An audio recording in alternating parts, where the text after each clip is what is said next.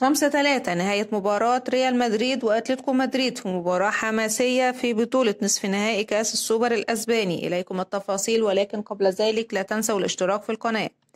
جاء هدف ريال مدريد الرابع في الدقيقة 116 بهدف عكسي من ستيفان يحرز الهدف الرابع في شباكه حيث من عرضية من الجهة اليمنى عن طريق داني كارفخال إلى داخل منطقة الجزاء استقبلها خوسيلو ماتوا برأسية اصطدمت بمدافع ستيفان وتخدع الحارس وتسكن الشباك.